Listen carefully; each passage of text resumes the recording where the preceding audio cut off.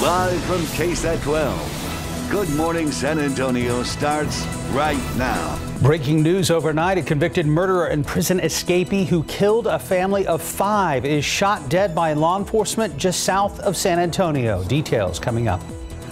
And taking a look outside with the live cam starting human again at 78 degrees, and we are getting closer to those triple digits. And we begin with that breaking news overnight. Convicted murderer on the run since escaping in a Texas prison bus after stabbing its driver last month was shot dead by law enforcement in Jourdanton late last night. A spokesman for the Texas Department of Criminal Justice says 46-year-old Gonzalo Lopez was killed around 1030 last night. Now that's after authorities say Lopez killed a family of five and stole their truck from a rural weekend cabin in Centerville in Leon County north of Houston yesterday. Well, late last night, the Atascosa County Sheriff says his office received new information about the escapee. The state provided new info about the vehicle stolen in Centerville yesterday.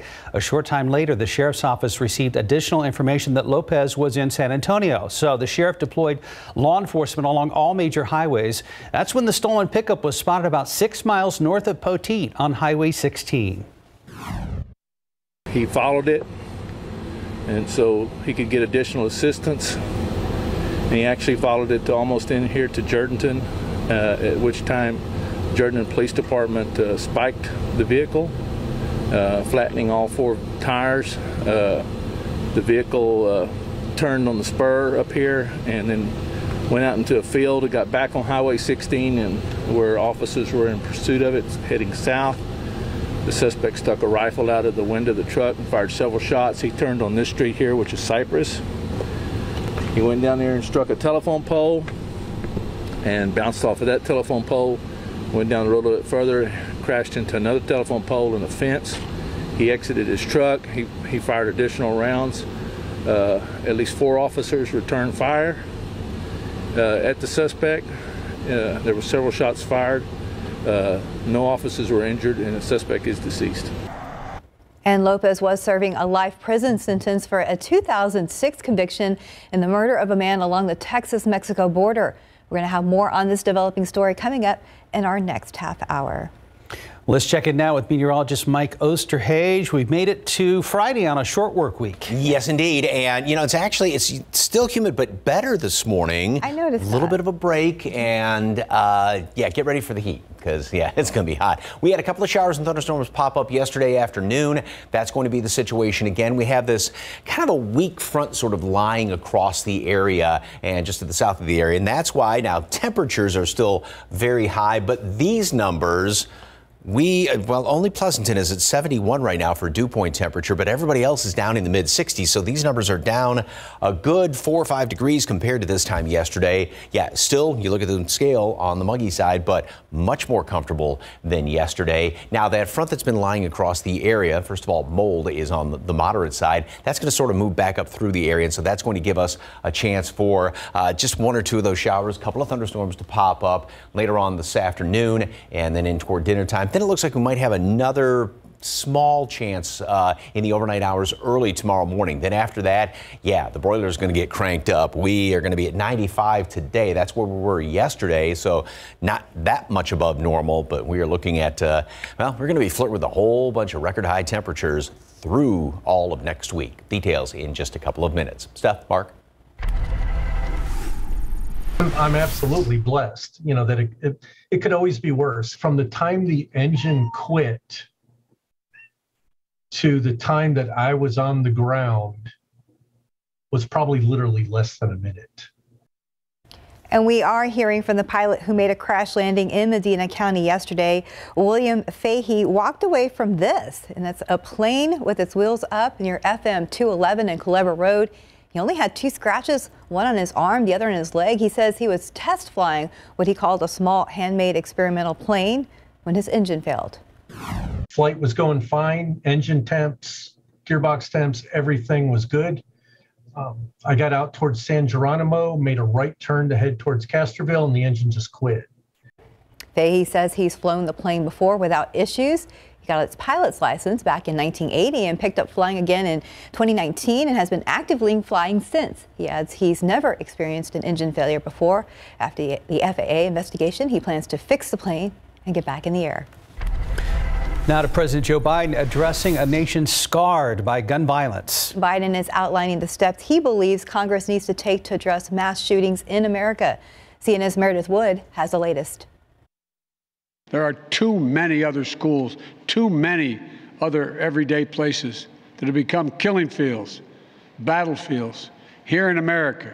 As Americans struggle to grasp a lethal wave of mass shootings that are traumatizing communities and tearing lives apart. After Columbine, after Sandy Hook, after Charleston, after Orlando, after Las Vegas, after Parkland, nothing has been done. President Biden is calling out Congress to come together and work on bipartisan gun reform laws. This is not about taking away anyone's guns. It's about not about vilifying gun, gun owners. In fact, we believe we should be treating responsible gun owners as an example of how every gun owner should behave. The president laying out actions he believes need to be taken. And if we can't ban assault weapons, then we should raise the age to purchase them from 18 to 21. Strengthen background checks, enact safe storage law and red flag laws, repeal the immunity that protects gun manufacturers from liability address the mental health crisis. Senate GOP leader Mitch McConnell says he's hopeful and optimistic lawmakers can compromise on legislation to address mass shootings to have ready to unveil when the Senate returns to session next week. Mental, mental illness and school safety are what we need to target. I'm Meredith Wood reporting. U.S. military has conducted cyber operations in support of Ukraine as it defends itself against Russia's invasion. The head of U.S. Cyber Command, the military hacking unit, confirmed the news in a published interview. It's a rare public acknowledgement since hacking operations are often shrouded in secrecy. Officials have long warned that Russia may launch cyber attacks against the United States in retaliation for those sweeping sanctions on the Kremlin over its war in Ukraine. The White House predicts the youngest Americans could have access to COVID 19 vaccines this month. The Biden administration says vaccine doses for children under the age of five could be made available as soon as June 21st. Vaccine advisors for the FDA still have to review data from Pfizer and Moderna on their doses. The agency will then decide whether the vaccines should get emergency use authorization. And even if everything goes as planned, they said it will take some time for vaccines to be more widely available. Businesses across the U.S. keep hiring employees despite higher costs and a potential recession. The closely watched monthly employment report from the Bureau of Labor Statistics is due to be released later this morning. Economists expect the report to say some 350,000 jobs were added last month with an unemployment rate of 3.5 percent. That would be a new pandemic era low. The labor market has nearly recovered to its pre-pandemic strengths with just with with the U.S. just 1.2 million jobs short of where it was before the pandemic shutdowns began. And time now is 438 and 78 degrees for now. Lots of big plays in game one of the NBA Finals between the Celtics and the Warriors last night. Highlights are coming up. And a quick look at the roads, the TransGuide. Looking out there at Highway 281 and Jones Maltsberger, things are moving right now at this hour. And live cam, it's uh, very warm out there. My car thermometer said it was 80 degrees on Highway 281 coming in this morning. 78 out at the uh, thermometer at the airport, and that's the official one. Talk to Mike about your weekend forecast around the corner.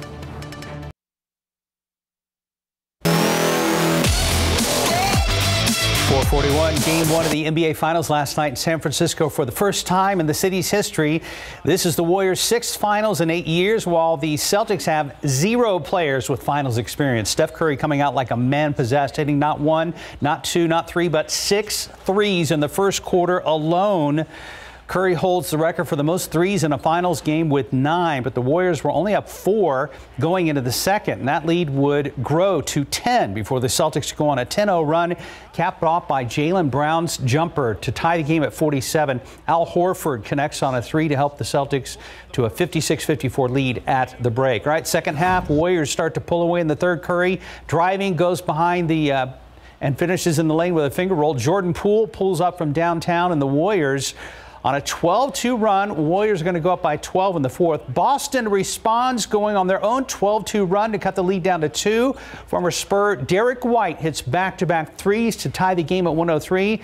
And that lights a fire under Boston. Al Horford with back to back threes, then Marcus Smart with a pair of threes, part of a 22 Celtics run to put Boston up by 14. Celtics outscore the Warriors 40 to 16 in the fourth.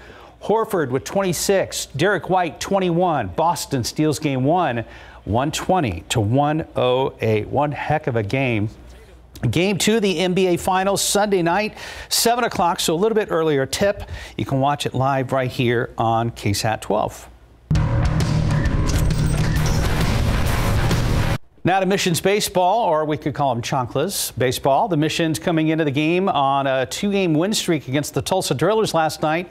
San Antonio got two runs in the first, three in the third to take an early lead. Drillers would try to make a comeback, but Missions win six to five extending their win streak to three. The series continues out there tonight.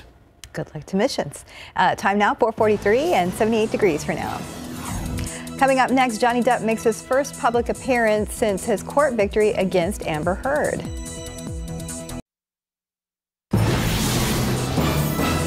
We do find that the jury's verdict is unanimous. In this morning's GMA First Look, Johnny Depp with his first public appearance since his court victory. Meanwhile, Amber Heard's lawyer speaking out to our Lindsay Davis on ABC News Live Prime. She's heartbroken, but I have to say, one of the most significant things she said right after she heard the verdict was, I am so sorry for all these women I have disappointed, all these women who have suffered, you know, and I've set them back. Obviously, this is a big setback, and she feels personally responsible for it. So she's working through it, but it's a tough one. Now, after this very public trial, where exactly do Johnny Depp and Amber Heard go from here? It's all coming up at 7 a.m. With your GMA First Look, I'm Trevor Ault, ABC News, New York. Well, whether you're headed to the pool, the beach, or just outdoors, it's super important to protect yourself from the sun's damaging rays. However, which one works the best? 12 on your sides, Marilyn Moritz has the newest test results. What's the best sunscreen? Dermatologists say it's the one you'll actually use. Still, some do protect better than others, and prices vary a lot. So, Consumer Reports put several to the test. We test sunscreens to see how well they protect against two types of UV rays UVA, which causes aging and skin cancer, and UVB, which causes sunburn. They dabbed on the sunscreen, and volunteers soaked in tubs to test water resistance. Then they were exposed to simulated sunlight. Next day, they were checked for redness. This sunscreen is a Consumer Reports best buy Equate Ultra Lotion SPF 50 from Walmart. It protected well and costs $5. If the scent, feel, and appearance matters to you. In our tests, we found several sunscreens that absorb quickly into skin and leave little to no residue on people of a variety of skin tones. Most volunteers liked Alba Botanica Hawaiian Coconut Clear Spray SPF 50. It tested well overall, too, and cost $9.50. If you're concerned about benzene contamination after several recalls of some aerosols, Consumer Reports also looked for benzene in all of the aerosol sunscreens it tested. Good news? All tested negative. To check if you have a recalled sunscreen, go to cr.org/benzene. No matter what sunscreen you use, remember to use it liberally. Most people just don't use enough. Also, for children, lotions are recommended over sprays because they may inhale the fumes. Marilyn Moritz, KSAT 12 News. Things to remember and a look out there with TransGuide. Things were pretty quiet at last look and looking at Loop 410 at New Braunfels Avenue, kind of quiet for a Friday. Mike joins us now. First weekend of the month of June. What's the uh, very latest, Mike? Hot. So, hey, uh, back to the sunscreen. And also, all the experts say keep reapplying. It's not yes. like you can, it's a one and done type situation throughout the day. Yes, and that's, yeah. that's where some of us mess up.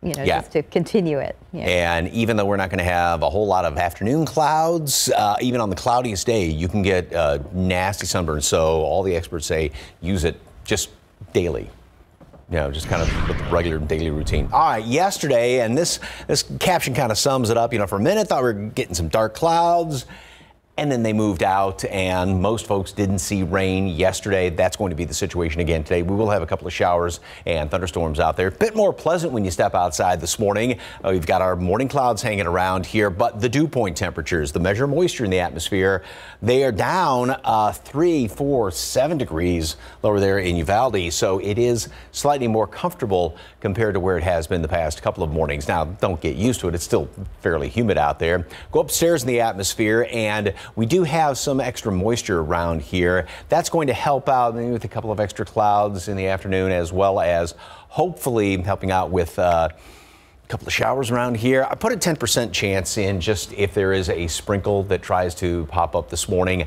you know, like the past couple of days, there have been one or two folks I think that have seen sprinkles, and that's been about it. We will make it up through the uh, mid upper 70s in the morning hours and then go through the 80s by 10, 11 o'clock. We'll see partly cloudy skies, some sunshine. And then later on this afternoon, we do have the chance for, again, one or two of those showers, a couple of thunderstorms out there. We're going to be at 95 for a high temperature today, which is still four above normal better than a couple of days ago when we got up to 99. We were at 95 again yesterday, and it's still a lot better than what's to come. So here's computer model. Got some sunshine midday, and then later on, about dinner time, late afternoon, a couple of those showers and thunderstorms going to be popping up around here, working their way on through the area into the evening hours. Then once the sun goes down, things are going to settle down. But there's also a couple of models that are trying to pick up one of those big, I call them nighttime storm complexes. They've got that, you know, $5 name to them and this, uh, if this does indeed develop tonight, this model wants to pick that up and have that coming through tomorrow morning early. Then after that, things do clear on out throughout the day tomorrow. And boy, get ready because he's going to be here and it's going to be sticking around for a while. 88 degrees today at noon, partly cloudy skies. High temperature today makes it up to 95 and a couple of showers, one or two thunderstorms most of us, unfortunately, won't see rain today. Hopefully, you're one of the, the lucky ones. Tomorrow, a couple of uh, morning showers or a thunderstorm. We'll have to watch that, especially in the hill country in the overnight hours. And then 99 tomorrow. We're looking at uh, 100 or low hundreds all the way through. Those top numbers are the respective records for those dates. So we are definitely going to be flirting with record high temperatures most all of next week. The $5 storm names, those are those super complicated, super meteorologically based ones. Yeah. Like uh, mesoscale. Mesoscale convective system. Something like something that. Like that yeah. yeah. which just rolls right off the tongue, doesn't it, Seth? Oh, yeah. Sure. We'll just give them some abbreviations. Nighttime storms. yeah. But now in inflation, that's up to $10. So okay. just so you're aware. 452, about 77 degrees. And Mavericks gets to take over, or get set to take over the box office for a second weekend. Plus, there are even more shows debuting on streaming. Welcome back to Good Morning San Antonio at 455. Top Gun Maverick hoping for yet another big weekend at the box office. Well, it is what's happening in Hollywood. Here's ABC's Jason Nathanson. Good morning, aviators. This is your captain speaking. At the box office this weekend, expect Top Gun Maverick to soar once again. It'll finish first for a second weekend in a row. But expect it to get knocked out of the top spot next week by Jurassic World Dominion. Let's roll. On the small screen today, Stargirl Goes to Hollywood. Disney Plus's Hollywood Stargirl is the sequel to 2020's Stargirl, starring Grace VanderWaal as a talented teen starting over in Tinseltown. And unlike most 18 year olds who are glued to their phones, Stargirl doesn't have one. VanderWaal telling me that's kind of cool. I relate to her. I'm I'm like never on my phone. It's um, a problem like professionally. Also new, it's the new season of the aerobic 80s dramedy Physical. Star Rose Byrne telling me when season two starts. Sheila is quote unquote in recovery from her eating disorder, but we soon find out, you know, that, that, that's far from the truth and far from the case. She's just sort of replaced it with other things. Season two of Physical debuts today on Apple TV Plus. What up? I'm three.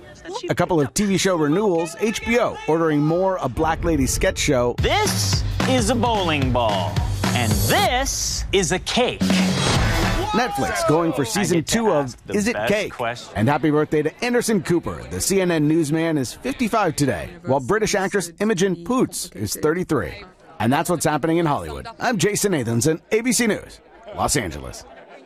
And time now 457 and 77 degrees for now. Still ahead on GMSA, it is our big story this morning. Law enforcement down in Jourdanton take down a fugitive murderer overnight. We'll have details on all that happened. Plus, more victims of the Uvalde school shooting will be laid to rest today. We're going to have the latest on that investigation. Stephen Cavazos is in the house. We'll have an update on any traffic trouble spots out there as we scan the cameras around town with our friends over at TransGuide. You're watching GMSA on a Friday. We'll be back. Live from KSAT 12. Good Morning San Antonio starts right now. Gonzalo Lopez has been captured and is deceased. Breaking overnight, the Texas Department of Criminal Justice announcing the death of a prison escapee and convicted murderer who was shot and killed by police in Jourdanton. More details ahead. And on the west side, an 18 year old is shot several times overnight. We have details coming up. And taking a look outside with live cam, 77 degrees for now. Things will heat up today and even more so over the weekend. Updating late breaking news overnight. The Texas manhunt for a convicted murderer who escaped from a prison bus last month has ended with his death. That inmate, 46 year old Gonzalo Lopez, was killed late last night in a shootout with law enforcement officers in Jourdanton. Katrina Weber is live in Jourdanton with that story, and we understand this came on the heels of that suspect allegedly committing yet another shocking crime.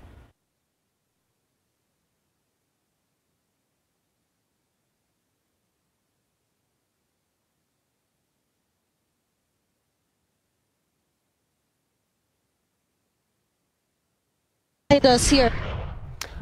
Well, obviously, we were having some uh, audio difficulties. Sound like we were trying to get that back, but we're going to get the latest update from Katrina in just a couple of mo moments as soon as we get all the uh, little bugs worked out there. All right, you step outside this morning. It's not quite as humid as what it has been. 78 degrees. I mean, that was about the same as the past couple of days. But then you look at that bottom number, dew point's down to 67. We had a weak little front move on through here. Wind is actually out of the, the northeast, and that shaved off a few degrees as far as the dew point temperature. So again, slightly more comfortable when you step outside this morning. 95 for a high temperature later on today. Same where we were yesterday. One or two of those showers, a couple of thunderstorms out there later on. As far as the aquifer, did go down another three tenths of a foot, of course, still in stage two water restrictions. Mold is on the moderate side. So take a look at some of these dew point temperatures around the area. You know, yesterday, looking at this map, we had all these numbers were well up into the 70s and even higher the previous day. So we did, I mean, we're still above that threshold number of 60 on the muggy side, but it is definitely more comfortable when you shave off about three, four degrees off of those dew point temperatures.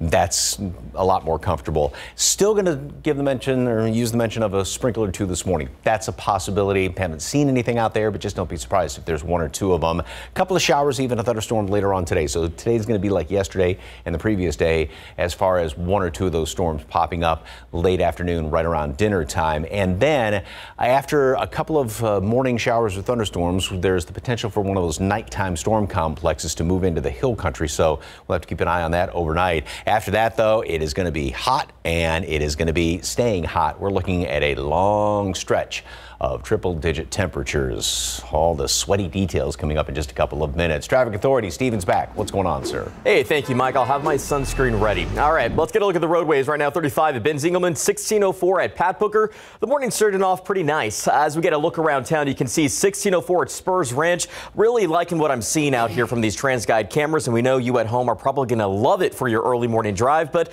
uh, as we are seeing some quiet roads here in town from TransGuide, unfortunately, we've already picked up a pretty big issue out in Boerne in the hill country. Now, that crash uh, just popped off of our map. I'll put it back on there. But right now, TxDOT is reporting a major crash that had State Highway 46 closed in both directions near I-10. Now, the unfortunate thing here is there are no TransGuide cameras in this area, so we're not able to show you those conditions, but we're going to have to keep an eye on it and see how that's going to be impacting the drive time. Right now, doesn't look like it's causing too many issues. So let's go ahead and give you a real big bird's eye view of the map here at 504. You can see nothing else to talk about. Just a lot of active construction spots, and we're going to get to that a little bit later on. But for now, the drive here not looking too bad. Green across the board if you're heading in from any of these communities, so no need to rush out the door. That crash in Boerne not really impeding traffic just yet. But again, we'll keep an eye on that. And again, make sure you do the same. We're going to have more updates coming up here on GMSA. Mark Stephanie.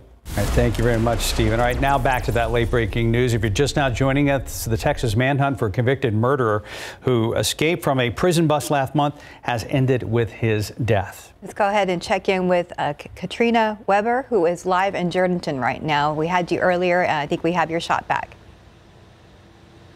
Well, that is right, uh, Stephanie. Yeah, that ended with his death here in Jourdanton. Now, this comes right after he allegedly committed another shocking crime. Authorities say that he murdered four people, including three children, in a town called Centerville. That's in east central Texas, and then stole a pickup. Well, that pickup right here behind me, that white one that investigators are going through, they say that is what put deputies and police here on his trail. Now, this neighborhood street where the manhunt ended is about 250 50 miles away from where this all began. Atascosa County deputies had received an alert about Lopez being in the stolen pickup and possibly in this area. The sheriff said he had deputies watching all the highways, and they eventually spotted that truck last night, then followed it. Now, Jourdanton police, meanwhile, had put down spike strips and they were able to flatten all of the tires on that truck. From there, the sheriff says things took a violent turn. The suspect stuck a rifle out of the window of the truck and fired several shots. He turned on this street here, which is Cypress. He went down there and struck a telephone pole. The sheriff says Lopez then got out of the truck, got into a gun battle with those officers, and that is when he was shot and killed. Now, in addition to those four murders that he's accused of committing yesterday, Lopez was already serving time for a capital murder and attempted capital murder in two other counties. Uh, he escaped from a prison bus in Centerville May 12th while he was being transported for a medical appointment, and they believe that he then broke into a home in that area where he allegedly killed those four people yesterday. Reporting live in Jourdanton, Katrina Weber, KSAT 12 News. All right, glad we got you back, Katrina. Thank you for the update. That'll be our top story all morning. Well, new this morning, San Antonio police say one person is in the hospital after being shot multiple times overnight. This happened in the 2000 block of Rowan Drive near Westshire just east of 410 on the city's west side. SAPD says the 18 year old victim was taken to the hospital in critical condition. Police an unknown number of suspects got away in a van or SUV. So far, none of them have been found. And today, Uvalde is remembering more of those lost in the school shooting. A mass service for Jailah Nicole Silguero is scheduled for today at 10 a.m. at Sacred Heart and services for Jayce Carmelo Luevanos will be at the same time and place today. Jacklyn Cazares will also be remembered at a Mass at 2 p.m. at Sacred Heart. Several others are having visitation. We have that full schedule listed on our website at ksat.com. Details have changed as the investigation into the shooting develops. State Senator Roland Gutierrez says 911 calls made by children inside Robb Elementary were only sent to Uvalde police and not to Pete Arredondo, the school district police chief and commander on the scene at the time. Arredondo has been criticized for his response that day. Gutierrez says the Commission on State Emergency Communications told him Arredondo did not know about the calls. He called it a system failure on several levels, including with leadership at the legislative level. The mayor of Uvalde has said more mental health resources are needed, but went further this week by saying the gun issue also needs to be addressed. The Girl Scouts honoring one of the victims of the Uvalde school massacre. 10 year old Amerie Jo Garza died in the shooting after trying to use her phone to call authorities for help. The Girl Scouts have posthumously awarded Garza with a Bronze Cross, which is given for saving or attempting to save the lives of others in the risk of losing their own. It's one of the highest honors in the organization. In Washington, D.C., President Joe Biden is amplifying his appeal to tighten the country's gun restrictions. ABC's Justin Finch has more. President Biden addressing the nation after weeks of deadly mass shootings. My fellow Americans, enough. Behind the president, 56 candles, one for each U.S. state and territory touched by gun violence. New York State, Texas, and Oklahoma now among the latest. He says those victims' families want what families who suffered before them still want. For God's sake, do something. After Columbine, after Sandy Hook, after Charleston, after Orlando, after Las Vegas, after Parkland, nothing has been done. This time that can't be true. The president again calling for a ban on assault weapons and high capacity magazines and also pushing for passing enhanced background checks along with red flag and safe storage laws. This isn't about taking away anyone's rights. It's about protecting children. It's about protecting families. On Capitol Hill, a House committee approving a bill that would raise the age limit to 21 to buy semi automatic rifles and tighten regulation of so called ghost guns and bump stocks. There are 18 ayes and 24 noes. Democrats and Republicans argued bitterly over their proposals for nearly 10 hours, with all Republicans on the committee voting no. I know that phone call. Parents across the country know that phone call. It's a sucker punch. It's a one size fits all approach that punishes law abiding citizens. That bill is up for a full vote in the House next week, but has little chance of passing in the Senate. On the Senate side, bipartisan talks continue with momentum growing on policies that could earn support from both parties, though details are limited. As those talks continue, three students from that Texas school shooting are being laid to rest today. And in New York State, 10 new gun measures passed, including one raising the purchase age to 21 for AR 15 style rifles. Justin Finch, ABC News, Washington. 510, about 77 degrees. And still ahead, Instagram introducing some new features in an effort to take on TikTok. Outside with live cam, the weekend is almost here, and Mike will tell us how much hotter it's going to get as we head into Friday, Saturday, and Sunday. We have some fun news this morning. An eighth grader from right here in San Antonio has won the Scripps National Spelling Bee. Harini Logan won in the Bee's first ever lightning round tiebreaker. So both spellers got four words wrong during their grueling showdown before Scripps went to the 90 second spell off. Harini was faster and sharper throughout, spelling 21 words correctly to take the win. And she will bring bringing home a trophy and more than $50,000 in cash and prizes. Congratulations. 514, about 77 degrees. And still ahead, how AT&T is upgrading its drones to help bring connectivity to areas affected by disasters. Why hide your skin? If Dupixent has your moderate to severe eczema or atopic dermatitis under control. Hide my skin? Not me. By hitting eczema where it counts, Dupixent helps heal your skin from within, keeping you one step ahead of eczema. Hide my skin? Not me. And that means long-lasting, clearer skin and fast itch relief for adults. With Dupixent, you can show more skin with less eczema. Hide my skin? Not me. Don't use if you're allergic to Dupixent. Serious allergic reactions can occur that can be severe. Tell your doctor about new or worsening eye problems such as eye pain or vision changes, including blurred vision, joint aches and pain, or a parasitic infection. Don't change or stop asthma medicines without talking to your doctor. When you help heal your skin from within, you can change how your skin looks and feels. And that's the kind of change you notice. Talk to your eczema specialist about Dupixent, a breakthrough eczema treatment. Today's Tech Bites Instagram Reels are getting new editing features in an effort to keep up with TikTok. Meta is allowing longer reels, up to 90 seconds. Users will be able to import their own audio and they'll have the ability to push videos into Facebook feeds. AT&T is upgrading its flying cows. No, they're not animals. That's shorthand for flying cell on wings. The drones are used to bring 5G into disaster areas. The upgrades will increase the chance users will receive important messages when regular mobile networks fail.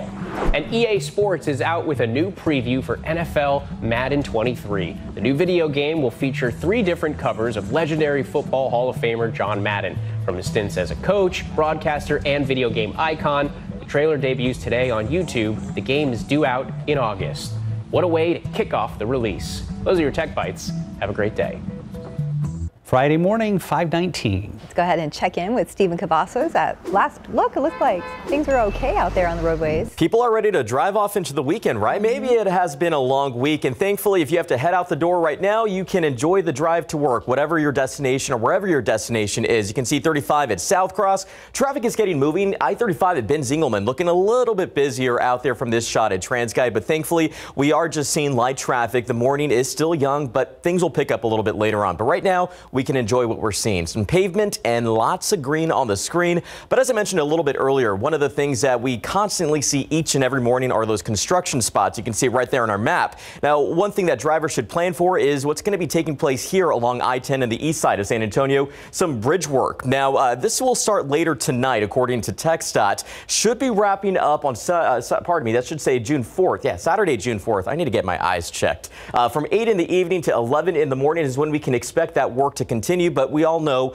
that will be continuous for some time. But right now, drivers can expect a full main lane closure in both directions right there at FM 1518. Of course, that information, along with other construction spots, is posted on our website at ksat.com slash traffic. Just make sure to scroll down to the bottom of the page. Guys. Thank you, sir. Thank you. That's a pretty picture. Pretty. You. Beautiful picture. And kind of the, the hardest thing to see in that picture is you can see mm. right up there that little waxing crescent of a moon. Of course, it's going to be at the uh, first quarter on the 7th, and then it's going to be full on the 14th. Hey, hey Mike. Uh, so I know summer doesn't start till the 20- first. Yeah, so it's still mm, almost three. I got my first big sign yesterday that summer's coming, other than the heat. What? I heard the cicadas start chirping oh, yesterday. Yeah. Oh, lovely. Love yes. that. welcome yeah. summer. yeah, so, yeah, welcome, welcome to summer out there. So we've got some clouds hanging around here this morning. Good news is now temperatures are about where they've been the past couple of mornings. We're anywhere from 5, almost 10 degrees above average. Uh, normal low, average low is 71 in town. We're at 78. However, these numbers are much lower. We had that weak front sort of slide through the area. Got a slight breeze out of the northeast. So some dry drier air, these uh, dew point temperatures measure moisture in the atmosphere. They're down about uh, three, four, five degrees compared to this time yesterday. So you walk outside, it's just not like a, a damp towel on top of you. It's just humid, not extra humid. It will stay in the uh, mid and upper 70s through the rest of the morning. Got a 10% chance maybe a little sprinkle out there. Just uh, don't be surprised if there is one. We'll make it in through the mid to upper 80s then at noon and partly cloudy skies. Then later on this afternoon, we are going to see one or two of those showers and thunderstorms popping up like we saw yesterday. And most folks won't get any rain, but if you do, could have a you know decent downpour here or there. And that's going to be through the early evening hours and then may actually have some more overnight into tomorrow morning. Here's computer model. I think this does a great job depicting what's going to be happening late afternoon. A couple of those showers and thunderstorms scattered about here, and they'll last in through the early evening hours up until right around uh, about the sunsets or so. And then those will continue to die down, maybe a couple little stragglers here and there. And then what we're going to be watching is one of those nighttime systems. This computer model wants to get one going up there northwest of the hill country. Move on in here in the wee hours overnight tomorrow morning. And then that, once the sun comes up, starts to die down somewhat, but uh, may actually have some of those showers and thunderstorms in portions of the hill country tomorrow morning. We'll have to be on lookout for that. But then that comes to an end, and we are going to then have the blazing hot temperatures in the afternoon. Quick check of the tropics. We've been watching the disturbance, the leftovers of Agatha from the Pacific. It is this low right here, and Hurricane Center is now looking at it becoming a tropical storm. It would be Alex. It's really nothing right now, just a low uh, right off the Yucatan Peninsula, but it would cut across Florida over the next couple of days, be a big rain producer there, and go off to the northeast. And again, if it does indeed develop, which all indications are that it will, it would be Tropical Storm Alex. 88 at noon today, partly cloudy skies, and then a high temperature today makes it up to 95. Couple of showers, couple of thunderstorms scattered about the area late afternoon, going into the uh, early evening hours. Then we'll have to be on the lookout for some of those in the hill country country overnight early tomorrow morning. After that, 99 tomorrow, triple digits Sunday in through well, pretty much all of next week, and all those numbers are going to be within a degree or two, flirting with record high temperatures, really starting tomorrow through much of next week. Oh, yay! I mean, if you're gonna if you're gonna be that hot, might as well mm-hmm. be up close to record, right? Yeah, sure. But maybe hopefully a, a, a break sometime after that little one, maybe. Okay. Go for broke. 524, 77 degrees. Up next in your morning spotlight, a first look at a real life Mario Kart ride and a fresh take on a classic Rolling Stones gig.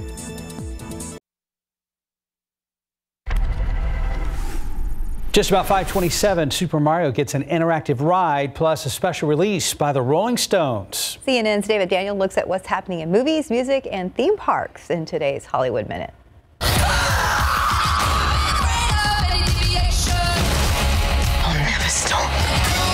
Until I'm holding. You're still beating hard. This is no damsel in distress. Here's Joey King in the first trailer for The Princess, determined to save her family and carve a bloody swath through the patriarchy. The Princess hits Hulu July 1st. Mario Kart breaks out of the video game. Universal Studios Hollywood has unveiled this sneak peek of Bowser's Challenge, which it's calling one of the largest, most interactive rides ever. It's set to debut in Super Nintendo World at the California theme park early next year.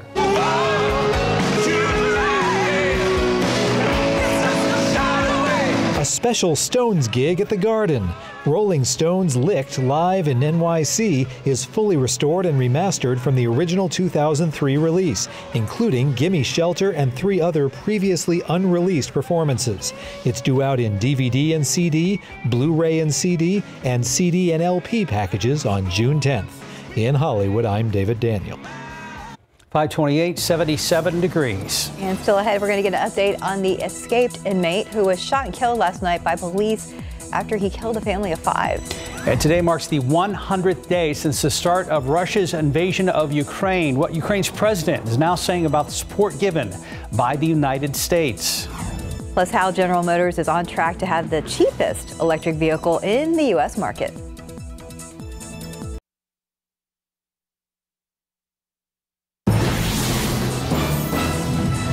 The manhunt across Texas for an escaped murderer ends here in Jourdanton with that inmate's death. I'm Katrina Weber. I'll have the latest. It's been 100 days since Russia's invasion of Ukraine began. What Ukraine's president is saying about the U.S. response to the crisis. Taking a look outside with live cam, 77 degrees for now, but we are bracing for that heat. It is a busy news morning. An escaped inmate who was the subject of a statewide manhunt has died in a shootout with law enforcement officers down in Jourdanton. 46 year old Gonzalo Lopez, who already was serving a life sentence for capital murder, is accused of committing four other murders shortly before he died. Katrina Weber is live in Jourdanton with that story. It's about 250 miles from where this all started. Katrina, how did he end up there? Well, good morning, Stephanie. Yeah, that timeline's still being put together right now by investigators, but we do know that that uh, chase, that uh, not rather not the chase, but the manhunt did end here uh, in a pickup that was stolen. That stolen pickup was right back here in this neighborhood, and uh, authorities just towed it away a few minutes ago, but they're still in this area uh, investigating and collecting evidence as well. Now, we can tell you that uh, what happened is the sheriff here in Atascosa County says that they had received word that Lopez, who had been on the run since May 12th, might be in the area in that stolen truck. He says deputies were watching the highways and spotted the truck. They began to follow Lopez, and when he reached the Jourdanton city limits, he ran over spike strips that officers had put down. The sheriff says that's when Lopez pointed a rifle out of the window of that truck and began shooting at them then crashed into a telephone pole in this neighborhood.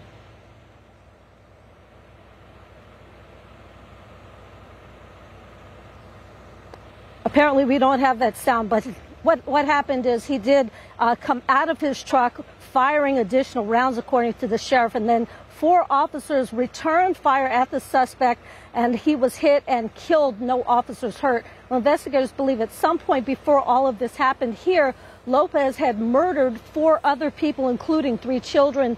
Their bodies were found in a home in uh, the town of Centerville in east central Texas. They believe that he broke into that home, killed those people, and then stole the pickup which he drove here. Now, Lopez was already serving a life sentence for capital murder and attempted capital murder in two other counties. Now, of course, they say that he did murder. those four people. He escaped from a prison bus back on May 12th as he was being transported to a medical appointment. Reporting live in Jourdanton, Katrina Weber, KSAT 12 News. We'll keep you updated all morning long, obviously. All right, step outside and looks wise, about the same as what we've had yesterday. Temperature wise, about the same as yesterday. But that number, dew point, measure moisture in the atmosphere, that's somewhat different. It's down about three, four, five degrees compared to this time the past few mornings. Also, we've got a slight breeze instead of out of the southeast, the northeast. We had that weak front move on through here, and so that has brought in slightly drier air. We'll take anything we can get as far as the humidity is concerned. Mold is moderate. The updated count is going to be coming out in a couple of hours or so. And throughout the day, we are going to make it up to 94 3 o'clock, 95 for a high temperature today. A sprinkle is possible this morning. Not very likely, though. I haven't seen any reports of anything. And then later on this afternoon, we are going to be seeing a couple of showers, a couple of thunderstorms popping up like we've seen the past few days. Most of us, unfortunately, won't see any rain. Now, there's another chance in the overnight hours, especially in portions of the hill country. And then after that, that's it. All bets are off as far as rain is concerned, but uh, pretty good bet we're going to be seeing some really hot temperatures. Details coming up in just a couple of minutes. Traffic Authority, Stephen, what's going on? Hey, Mike. Thankfully, not a whole lot out there. Let's get a look around TransGuide 1604 at Spurs Ranch. You can see almost like a ghost road there, but we have one vehicle making their way by. at 410 at New Braunfels. You will have the roads to yourself right now, but keep in mind there are a few vehicles. Uh, people getting their morning going, so just remember to move over, slow down, uh, give yourself plenty of time as well. So let's go ahead and start here with that wide look at the map. We talked about a lot of active construction spots, but let's go ahead and bring you in here to I-10 right there off the central side of San Antonio in the east, pardon me, 410 uh, eastbound lanes near Cherry Ridge. We have our first stall that's been reported. So uh, not sure exactly what's causing this car trouble out there, but make sure you check your vehicle before you get out on the roadway. Also, make sure you have plenty of gas and your tires are working properly out there if you plan a long road trip. Uh, right now, if your destination is San Antonio, good news is there's no need to rush to get here, especially if you're traveling in from any of these communities. You can see pretty green from Seguin on I-10 coming in those westbound lanes with 29 minutes at this hour. It's a 22 minute drive time for our friends in La Vernia, and you can enjoy the drive if you're heading in from Floresville on either 181 or 37. So things are looking okay there, and they're looking great here back on TransGuide, just getting a little bit busier. Of course,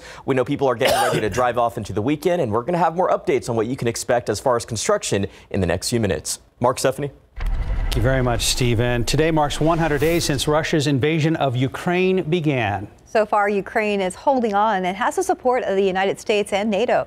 CNN's John Lawrence reports.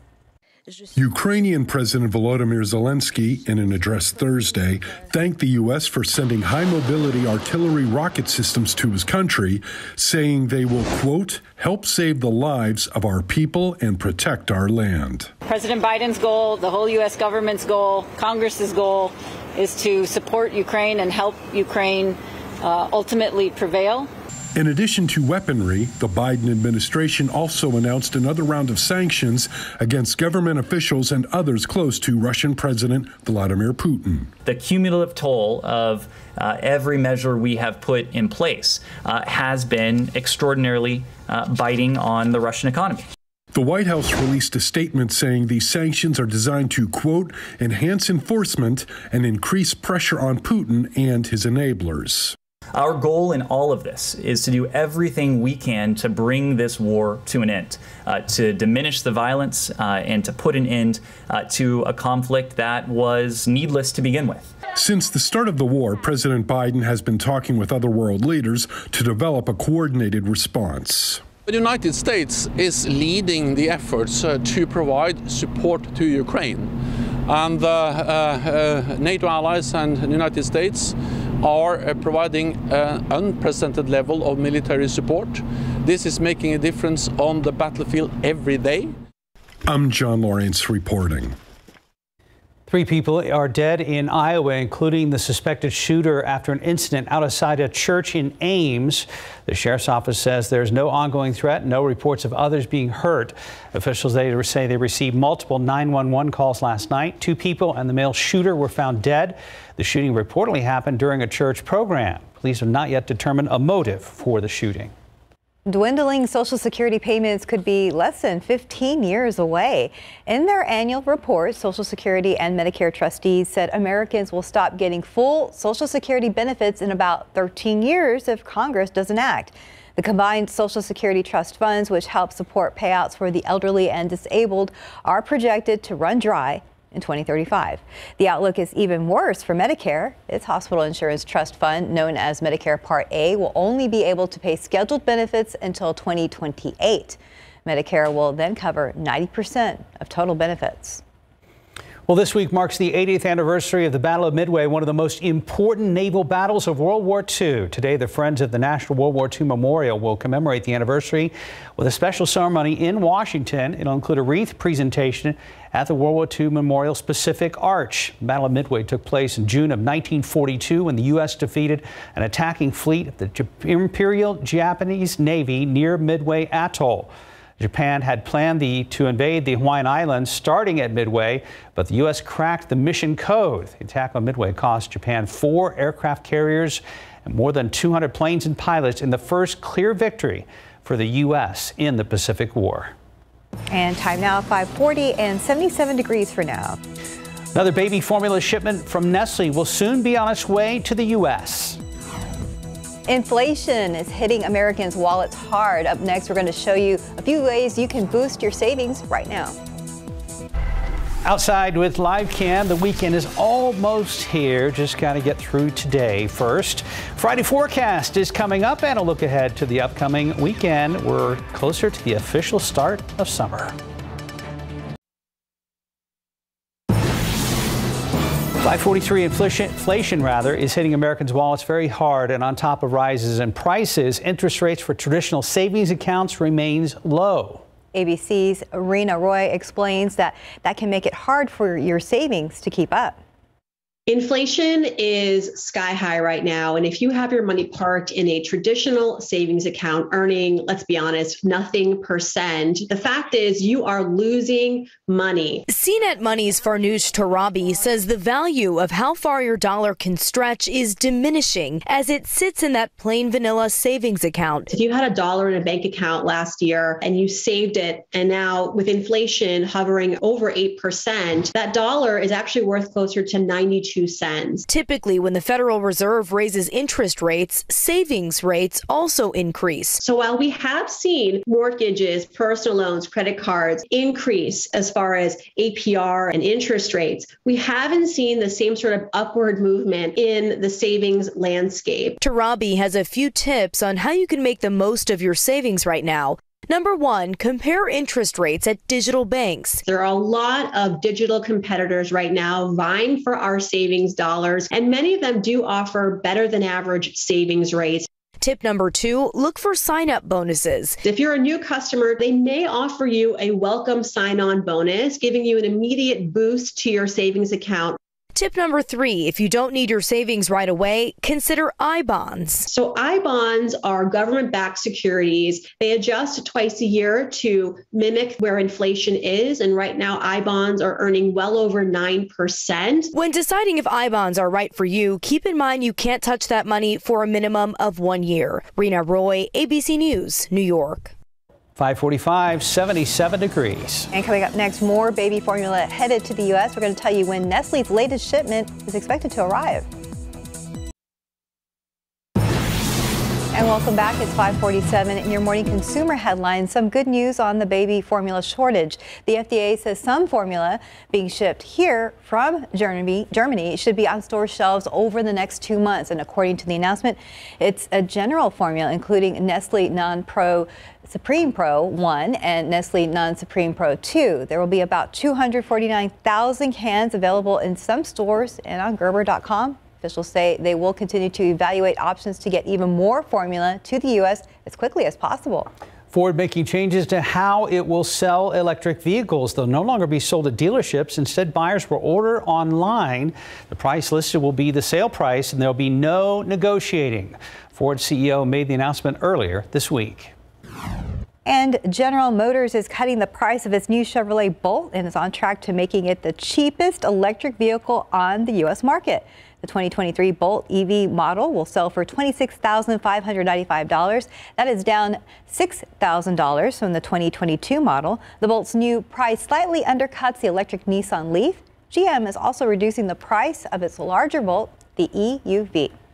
Let's check on traffic at about 10 till 6. Stephen, what's the latest? Hey, good morning, everyone, and special good morning to my niece Emma up in Boerne. My sister sent me a photo of her watching GMSA. She's a baby, probably doesn't know what's going on right now, but she's probably enjoying what she's seen. Uh, and if you at home are going to enjoy the roads right now, because right now there's not a lot to talk about. You can see US 90 at Cupples. Things are just moving right now without any trouble, but uh, that is just for right now. Let's go ahead and see what we're seeing on the map. Show you right there, 410 eastbound at Cherry Ridge. We still have that stalled vehicle That's been there a little while, but we're going to add another one to our list right over here off 35 southbound at Rittiman Road. Uh, as a reminder, not sure what's causing these stalled vehicles, but make sure you're checking your car properly before you get out on the roadways. 549, getting a view of that metro area. You can see, again, nothing else to talk about, but we know that there will always be those construction spots. And this one off of I-10 on the central side of San Antonio could impact a lot of commuters. Some bridge repairs Sunday, June 5th, up until Tuesday, June 7th. Keep in mind, this will be overnight, so that's some good news. We won't really be seeing a lot of activity during the day, uh, but that should wrap at 5 in the morning. And during that time, you can expect multiple westbound main lane closures right there at Frio Street. So keep that in mind as we are getting ready to drive off into the weekend. But right now, we can enjoy the drive wherever that destination is going to be. Guys. Thank you, sir. Very good. Oh, it's a cute little visitor. Yeah, speaking you. speaking of babies, look at a little baby raccoon. That's the weirdest looking koala bear I've ever seen. That, uh, he's like posing for the, the photo. Yeah. Yeah, like pretty much so. Or else it's like, okay, what are you doing? Or uh, watch behind you because watch out for mama. Hopefully, mama's oh, yeah. not around Right. there. Yeah, and it says probably looking for a little bit of water. Mm-hmm. Everybody's going to be looking for water. And speaking of that, of course, make sure uh, your pets have plenty of it outside and change it often. Don't leave it in the sun or anything where it's going to be heating up. Watch it on the hot pavement as well, not only for pets but yourself. All right, out there, and boy, it seems like the lights are extra bright out there by uh, 410 over there by the airport. Traffic's moving along very well. We've got some clouds around here. Temperatures are very warm. We are still, uh, well, 7 degrees above normal here in town, 75 Helotes, as well as in Converse and Canyon Lake. Numbers, temperatures are about the same, but it's the humidity that is down compared to past couple of mornings, so it's a bit more comfortable when you step outside. There could be a little bit of mist or sprinkle out there. I've just got the slight mention of it. Temperatures will then get into the uh, upper 70s and mid 80s through the morning hours. We'll see some more sunshine thrown on in. 88 degrees at noon and then go up in through the mid 90s. We'll top off at 95 degrees. Still four above normal. And then one or two of those showers, thunderstorms going to be popping up later on this afternoon. Again, like the past couple of days, most of us won't see anything, but at least there will be a little bit of rain. Now, humidity, which is lower this morning, is not going to be outrageously high this afternoon, so that's some good news. So we're not going to have any outrageous uh, heat index values, maybe a degree or two above the actual air temperature. Here's the computer model through the rest of the afternoon. We have some sunshine mixed in with the clouds, and then by late afternoon, dinner time, we start to see a couple of showers, even a couple of thunderstorms popping up, just sort of scattered about the area. And that's going to be the case into the early evening hours. And we'll have to watch out, especially out in the hill country, then overnight, early tomorrow morning. This particular model wants to get a one of those nighttime storm complexes developing out there northwest of the hill country and then working its way on in here just about uh, say sunrise right before that and should start to die down as soon as the sun starts to come up and we'll have a couple leftover showers in the morning. And then we start to clear on out and that's when things definitely start to heat up around here. That high which is down over Mexico as of right now is just going to continue to sort of strengthen and build and cover most of the well really southern half or southern third of the country. And that's going to be going into the middle part of next week. And as this high pretty much stays in place on top of us, pushes down in the atmosphere, keeps things very, very hot. And this is when we're going to be staying all the way through next week in the uh, right around 100 degree range for high temperatures. 88 at noon today, partly cloudy skies, and then high temperature is going to make it up to 95, four above normal, a couple of showers, a couple of thunderstorms out there. Most of us won't see any, but if you do get one of those storms, a decent downpour, it'd be very localized though, and we'll have to watch out for a few of those developing overnight and early tomorrow morning parts of the hill country. Then heats up 99 tomorrow, triple digits Sunday all the way in through well, probably most all of next week. It's looking like Friday as well. Uh, is that your final answer? That's my final answer. Oh, all my those numbers are pretty close to their respective record high temperatures. Okay, so I was going to say, uh, I thought you were going to say close to their respective normals, but that's not where you were going with that. No, those are about 10 at least above Mm. Wow. normal high temperature. Okay. We will prepare. Yep. Thank you, Mike. We will prepare. 554, about 77 degrees. Look at your winning lotto numbers. Pick 3046, Fireball 6, Daily 4, 3034, Fireball 2. Cash 5, 16, 20, 23, 27, 33. Texas two step 2, 9, 12, 32, and a bonus ball of 3.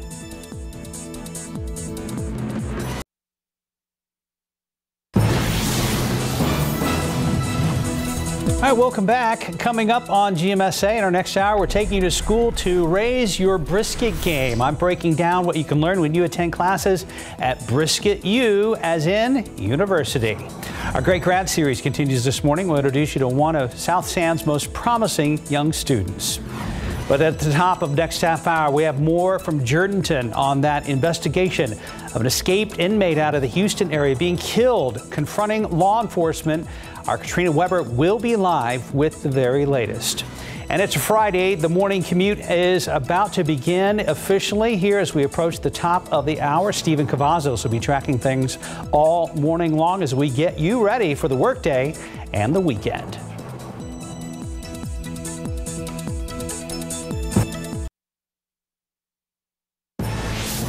Police are searching for multiple suspects after a shooting on the city's southwest side leaves one person in critical condition. What neighbors heard and who found the victim, those details coming up.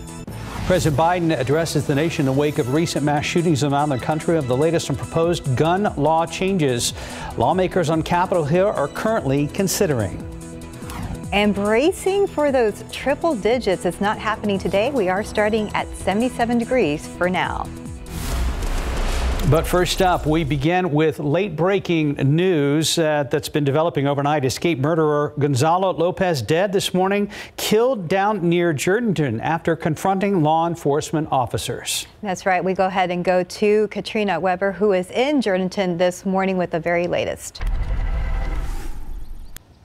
Well, good morning, uh, Stephanie and Mark. Uh, yeah, this area, this neighborhood here, still very much an active crime scene. Now, we've learned that the suspect's body is still here at the scene. A little while ago, they towed away a tow uh, a pickup truck that uh, we understand that the suspect had stolen some 250 miles away from here. Now, according to what we've been told, it was that pickup that law enforcement officers spotted, letting them know that convicted murderer and escapee Gonzalo Lopez was in this area. They had received an alert about the possibility earlier. Atascosa County Sheriff says he had deputies watching all the highways, and when they spotted that stolen pickup, they began following it. He says when they reached the Jourdanton city limits, Lopez ran over some spike strips, which flattened all his tires. He says Lopez then pointed a rifle out of the window of the truck and fired, then crashed into a telephone pole. He exited his truck. He, he fired additional rounds. Uh, at least four officers returned fire uh, at the suspect. Uh, there were several shots fired. Uh, no officers were injured, and the suspect is deceased. Investigators believe at some point before all of this happened here, Lopez murdered four other people, including three children. Their bodies were found yesterday at a home in Centerville in east central Texas, not far from where Lopez was when he escaped custody. They believe that he broke into that home, killed those people, then stole the truck that he was in when they found him here in Jourdanton. Lopez was already serving a life sentence for capital murder and attempted capital murder in two other counties, and he escaped May 12th while he was being transported on a prison bus to a medical appointment. Reporting live in Jourdanton, Katrina Weber, KSAT 12 News. Katrina, thank you for that story, and it remains our top story. Look for more online on ksat.com and in our all our later newscasts. Mm, Time now 6:03, and we're only at 77 degrees for now, so it's kind of pleasant out there. Can we can we hit the pause button Yes. right here, Mike?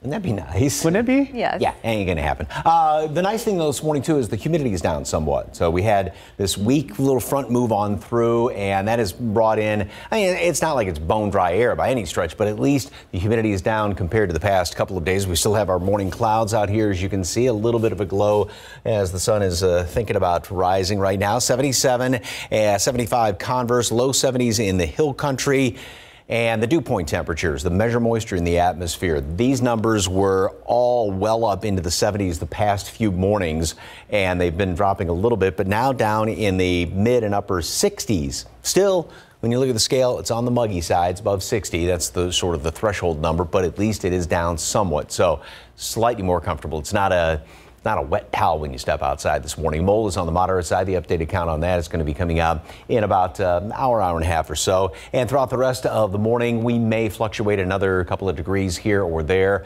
We'll have some sunshine then mixed in later on this morning. As far as any sprinkles this morning, I doubt it you know, mention of it. Then later on this afternoon, first of all, we're going to be up to 88 at noon, and we'll make it up to the mid 90s this afternoon. Same thing as we hit yesterday. One or two scattered showers, even a thunderstorm out there, just kind of few and far between. Perhaps even a couple of more overnight. We're going to have to keep an eye on a potential system developing overnight. And then after that, yeah, it is just going to be screaming hot for pretty much all next week. Details in just a couple of moments. Traffic authorities, Stephen Cavazos, what's the latest? Uh, not a whole lot, Mike. Let's get a look at the roadways right now. You can see 35 at Southcross, 35 at Binz-Engleman. Friday morning has been off to a decent start. You can see 1604 at Pat Booker. Just a few people getting by there, but keep in mind there's going to be some road work taking place a little bit later, so that will likely impact your drive time. Just make sure you pack your patience this morning, but right now, make sure you also pack that joy because there's not a lot to really see that's going to cause problems. But let's start, start here with that wide look at the map because one thing you may encounter are stalled vehicles. We can see a few of them right there on our map.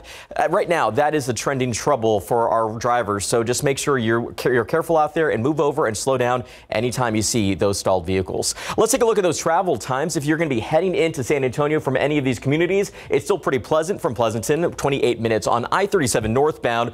We're looking about 19 minutes from Highway 90 in those eastbound lanes. It's heading into West Loop 1604. And right now, your arrival from Lytle should be about a 16 minute drive time. Other than that, things are off to a decent start, as I mentioned earlier, but we'll keep our eyes on the road and always make sure you do the same. Mark Stephanie. Stephen, thank you. New this morning, a San Antonio police officer draws their weapon and shoots a suspect early this morning down on the southwest side. Chief William McManus says police were initially responding to a shots fired call just before 1:30 in the 4900 block of Warhorse. When officers arrived, they say the driver of a red vehicle tried to leave the scene by backing up and crashing into officers' vehicles. The chief says that's when one of the officers fired a shot into the vehicle, hitting the suspect in the abdomen. He was taken to University Hospital and in into surgery. No word on his condition. Police are still investigating. New this morning, an 18 year old man in critical condition after being shot multiple times overnight. This happened in a 2000 block of Rowan Drive near West Shire, just east of Loop 410 on the city's west side. Now, people living in that area say they heard what sounded like fireworks going off. Once it stopped, residents went outside, and one woman says she found the victim. I ran over there to, to help her and I heard his I heard a voice. So I followed it and found him on the ground and I started screaming for her, you know, he's over here. Right now, police say they're looking at an unknown number of suspects who got away in a van or an SUV. None of them have been found. Also new this morning, we now know the name of a teen killed in a crash on Hausman Road west of I-10. The medical examiner's office saying he is Amir Abdal Rinha. The 17-year-old Brandeis High School student died when the black sedan he was a passenger in crashed into another car around 1230 yesterday. Four other students were in the car at the same time. Three were taken to a hospital. Another walked away with minor injuries. Two people in the other vehicle were also hospitalized. The medical examiner's office also releasing the name of a 13-year-old killed on Wednesday. The teen is identified as Christopher Martinez. Police say Martinez was found inside a home on the north side of town in the 100 block of Agnes Drive near North Main, where that shooting occurred. The ME says he died of a gunshot wound to the head. Detectives are still trying to determine what led up to that shooting and who's responsible. Today, Uvalde is remembering more of those lost in the school shooting that took place more than a week ago. A mass service for Jailah Nicole Silguero is scheduled for today at 10 a.m. at Sacred Heart. Services for Jayce Carmelo Luevanos will be at the same time and place today. Jacklyn Cazares will also be remembered at a mass at 2 p.m. at Sacred Heart. Visitations for two other victims are set for today as well. We have that full schedule listed on our website at ksat.com. And the Girl Scouts honoring one of the victims of the Uvalde school massacre. 10 year old Amerie Jo Garza died in that shooting after trying to use her phone to call authorities for help. The Girl Scouts have posthumously awarded Garza with a Bronze Cross, which is given for saving or attempting to save the lives of others and the risk of losing their own. It is one of the highest honors of that organization. Another revelation the investigation into the Uvalde school shooting has developed. State Senator Roland Gutierrez says 911 calls made by children inside the elementary school were only sent to Uvalde City Police, not to Pete Arredondo, the school district police chief and commander on scene at the time. Arredondo has been criticized for his response that day. Senator Gutierrez says the Commission on State Emergency Communications told him Arredondo did not know about the calls. He called it a system failure on several levels, including with leadership at the legislative level. The mayor of Uvalde has said more mental health resources are needed, but went further this week by saying the gun issue also needs to be addressed. Well, President Biden amplifying his appeal to tighten gun restrictions in this country. The president addressing the nation Thursday night, one day after four people were shot and killed at an Oklahoma medical center. That latest deadly mass shooting as a congressional committee is advancing new gun legislation and bipartisan negotiations continue in the Senate. ABC's Justin Finch has more. President Biden addressing the nation after weeks of deadly mass shootings. My fellow Americans, enough. Behind the president, 56 candles, one for each U.S. state and territory touched by gun violence. New York State, Texas, and Oklahoma now among the latest. He says those victims' families want what families who suffered before them still want. For God's sake, do something. After Columbine, after Sandy Hook, after Charleston, after Orlando, after Las Vegas, after Parkland, nothing has been done. This time, that can't be true. The president again calling for a ban on assault weapons and high capacity magazines, and also pushing for passing enhanced background checks along with red flag and safe storage laws. This isn't about taking away anyone's rights, it's about protecting children, it's about protecting families. On Capitol Hill, a House committee approving a bill that would raise the age limit to 21 to buy semi automatic rifles and tighten regulation of so called ghost guns and bump stocks. There are 18 ayes and 24 noes. Democrats and Republicans argued bitterly over their proposals for nearly 10 hours, with all Republicans on the committee voting no. I know that phone call. Parents across the country know that phone call. It's a sucker punch. It's a one size fits all approach that punishes law abiding citizens. That bill is up for a full vote in the House next week, but has little chance of passing in the Senate. On the Senate side, bipartisan talks continue with momentum growing on policies that could earn support from both parties, though details are limited. As those talks continue, three students from that Texas school shooting are being laid to rest today. And in New York State, 10 new gun measures passed, including one raising the purchase age to 21 for AR 15 style rifles. Justin Finch, ABC News, Washington. 612, 76 degrees. And still to come on GMSA EA Sports out with a new preview for NFL Madden 23. We're going to tell you how the company is honoring the late NFL great John Madden. But coming up right after the break, good old Texas brisket on some tips on how you can get that perfect uh, crust and flavor the next time you try to smoke a brisket at home. And taking a look outside with live cam, it's the good old heat again today and all weekend long and next week as well. We are back to what we know here in San Antonio. Meanwhile, we have a beautiful shot outside there with live cam. We'll be right back. Welcome back, 616. Quite intentionally, we have scheduled a barbecue related story just before Father's Day and the official start of summer. Our focus, smoking brisket. Whether you're a novice or somewhat experienced brisket person, you can now raise your game, so to speak. We've, I've already taken two classes at Brisket U, as in university. They hold weekend classes at local breweries. They teach you how to trim a brisket, pick the right firewood, how to wrap it, and carve it when it's done. The classes make great gifts, can help give you brisket bragging rights. So again, we created this so that, you know, when your neighbor or your brother-in-law is looking over your shoulder telling you you're doing it wrong, you can say, hey, back off, I'm certified. All right, learn more about Brisket U coming up on GMSA at 9 and later this morning on KSAT.com. What a great way to spend a weekend, right? I- Beer and brisket. Yes, I think that's a probably a perfect Father's Day present. It is a win-win situation. Time now, 6:17. Let's go ahead and check in with Stephen Cavazos. I'm just waiting for Mark to now invite us over to his house. No for, kidding. uh, I mean, right? what's going on? What is going on, Mark? I don't have an answer for you. well, you know what? We're going to have to tune in to GMSA at 9 to find out what's Yes, going on, right? well, if you'd like to know what's going on on the roadways, let's get that look around town. You can see things are fine just right there. 281 at jo- uh, Jones Maltsberger. Traffic has been off to a decent start as we're getting ready to drive off into the weekend, but you can see it's getting a little bit busier as we are inching closer to that morning rush hour. So just remember to be careful out there. Uh, as we get that wide look at the map, you can see there really isn't anything to talk about in terms of what's happening here in town. This is new, though. This crash up in Boerne, I hadn't seen that before, so I'll look at that a little bit later on, find out how that's impacting the drive time. We know that there was a crash that was reported near State Highway 46. That had cleared out, so again, we'll have to find out what's going on there, but uh, make sure that you plan ahead for your weekend commute because here off I-10 on the far east side of San Antonio, there will be some bridge work taking place. This starts today, Friday, June 3rd, and should be wrapping up on Saturday, June 4th. Keep in mind that will be from 8 in the evening to 5 in the morning. There you'll see a full main lane closure in both directions from FM 1518 to FM 1516. So again, plan that commute and we'll keep you updated. Just head over to ksat.com slash traffic for the very latest. Make sure to scroll down to the bottom of the page to find those closures. Guys. All right, so let's recap here. Yeah. You've been taking classes on how to cook brisket. Mm-hmm. Yes. You've cooked brisket. Yeah, several times. Ah. And what have you done with that brisket? That's oh. I've eaten it. He brought some in the morning one Wait, time. when? It's been Yeah, a while. Yeah.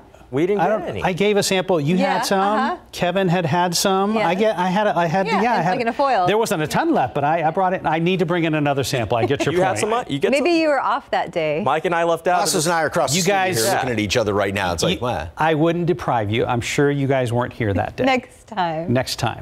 Yeah. Yes. Stephen was actually planning on getting you a gift. Yeah. Father's Day, Oh. he's not now. uh, temperatures right now, uh, we've got 77 degrees. Number wise on this graphic looks a lot like it did the past couple of days, but we do have some lower humidity out there. So uh, that's a little bit more pleasant, or I should say maybe not pleasant, but not as humid, obviously. 67 is the dew point as compared to the low 70s that we had the past few days. Wind is out of the northeast, so we had that little bit of a front moving on through here, and that pulled in some dry air, kind of pushed the humidity out temporarily. All right, this is a great Great picture yesterday. Some of those big storm clouds that were billowing up, and boy, it's a beautiful picture. And underneath them, it was a beautiful picture too, I assume, with uh, some of the rain that you got. Now, this is going to be the situation again today where you may be seeing most of us are going to be looking at the clouds off in the distance, some of the rain clouds, instead of having them right on top of us. Plenty of clouds right now, uh, a couple of breaks here and there We'll keep these clouds around throughout the morning. As far as any mist, there's that possibility. Kind of doubt it though. All these dew points are well down into the 60s, mid and upper 60s, as opposed to low to mid 70s like we have been. A little more humid down around uh, Poteet and further on down to the, the southeast. Dew points are down two, three, four, five degrees, seven degrees in Uvalde compared to this time yesterday. So it's that much drier air. It doesn't seem like a whole lot, but one or two degrees, I say when you have dew points this high, one or two degrees does make a big difference in both directions. So we're going to be in the upper 70s, low 80s throughout the rest of the morning. I've got the 10% in there, maybe a sprinkle. I kind of doubt it, but just don't be surprised by one or two of them. 88 at noon, getting up into the low 90s then. We'll top off at 95 later on today. 20% chance for a few showers and thunderstorms. Again, I think most of us are going to be looking at the big clouds off in the distance instead of having them on top of us with some of that rain. This is what the computer model's indicating. Some sunshine thrown into the clouds later on today, and then by dinner time, early evening, we start to see some of the thunderstorms developing around the area if you get one of these storms, could have a decent brief shower. So look forward to that. It's not going to be any sort of a drought breaker, of course. This is going to last into the evening hours and uh, maybe even a straggler out there in the hill country later on tonight. Then tomorrow morning in the overnight hours, we're going to have to watch to see if indeed this big storm, one of those nighttime storm complexes, likes to or wants to develop, and that will be the case into the early morning hours with uh, perhaps a couple of those thunderstorms, and that'd be dying down once the uh, the sun pretty much comes up, and then uh, get ready for the heat after that because it is definitely going to be a sizzler tomorrow afternoon all the way through next week. 88 at noon today, partly cloudy skies. High temperatures going to make it up to 95. Couple of showers, a couple of thunderstorms here and there, only a, roughly a 20% chance for some rain.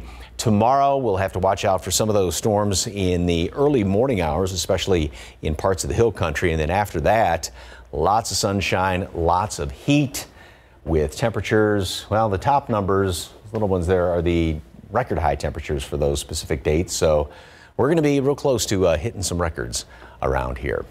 I think that goes without saying, right? Mm-hmm. Yeah.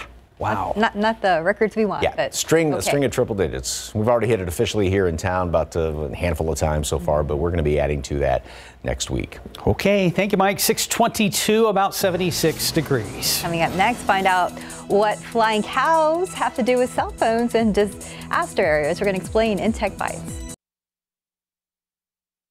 This is the story of two homes. They both have bugs. Gotcha. But only one has Zevo.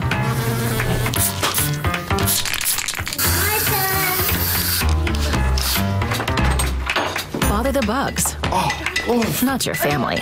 Zevo is made with essential oils which attack bugs' biological systems. So Zevo gets rid of the bugs, plus is safe for use around people and pets. Zevo, people friendly, bug deadly. If you have diabetes, it's important to have confidence in the nutritional drink you choose. Try Boost Glucose Control. It's clinically shown to help manage blood sugar levels and contains high quality protein to help manage hunger and support muscle health. Try Boost today.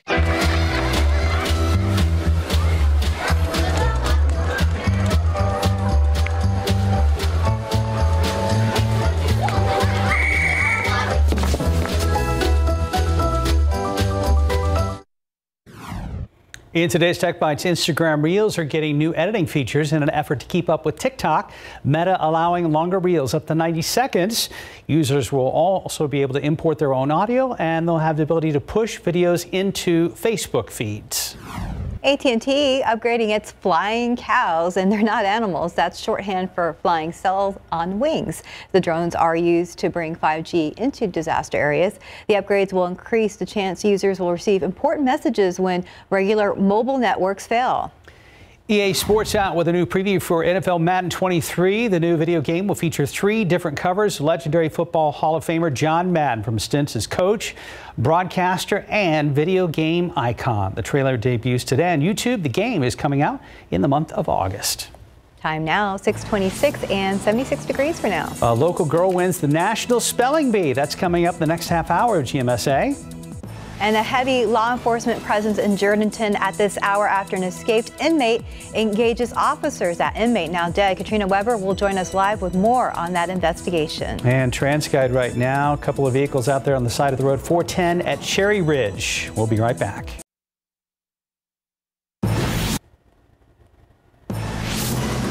It is a Friday morning. You're waking up watching GMSA. Weather and traffic are coming up, but first, our top story this morning, a statewide manhunt for a convicted murderer has ended very close to San Antonio down in Jourdanton.